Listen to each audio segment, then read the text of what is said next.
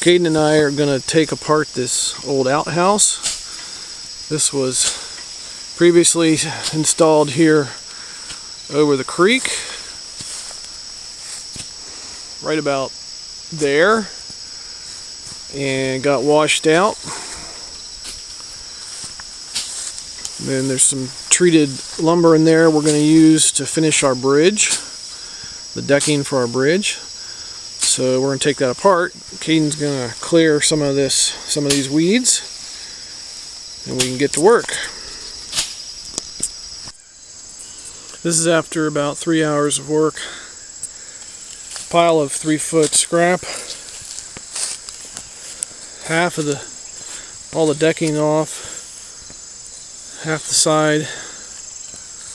Ended up with two nice I don't know, 12 foot 2 by 10s there.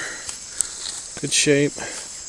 I'm going to try to tip this over and work on the other side.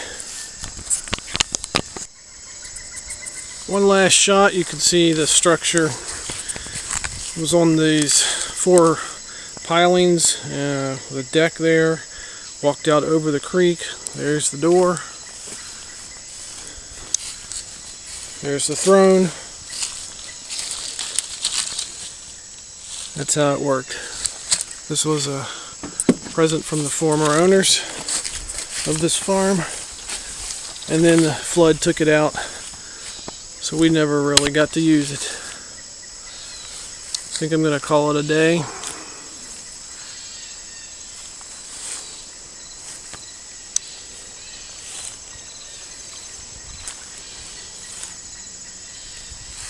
Come down and finish another day.